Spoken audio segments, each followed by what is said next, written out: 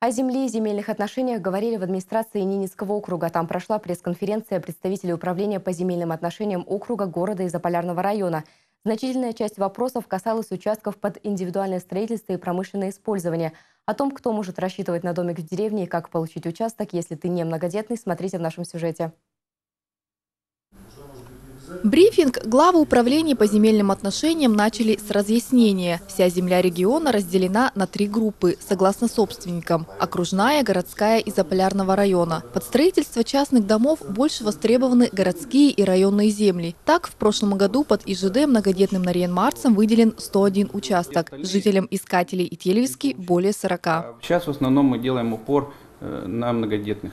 То есть все, что мы сейчас вот межуем в искателях, мы все предоставляем ну, первоочередное право мы все предоставляем, то есть отправляем в искателей, чтобы они предлагали многодетным. Получить участок немногодетным тоже можно, или по заявкам, или по аукциону. Информацию о нем можно найти на сайте городской администрации в разделе «Муниципальные торги». Земля в таком случае предоставляется не в собственность, а на условиях арендной платы. В разных районах она тоже разнится. В городе за 10 соток нужно отдать 1800 рублей в год, в искателях 2300. В среднем по населенным населенным пунктам – полторы тысячи. Если аукцион придется по душе населению, этот способ выделения земли возьмут за основу. Желающих строить свое жилье достаточно много.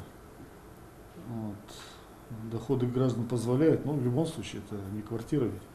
Вот. Но с учетом того, что мы были обязаны в первую очередь обеспечить многодетных, э, то немножко, скажем так, этот вопрос, он немножко забылся да, в этом плане. Городская администрация планирует развивать и приспосабливать под ИЖД новые районы. К ним относят лесозавод, Сахалин и совхоз. Однако там требуется отсыпка больших площадей. Лаевожский проезд в этом плане привлекательный. Обширная сухая площадь может застраиваться хоть сегодня. По подсчетам экспертов, участки там могут получить более 250 семей. Но земли находятся в собственности Министерства обороны, поэтому придется искать другие территории. Так или иначе, снабдить землей всех желающих которых стоит в планах города и округа.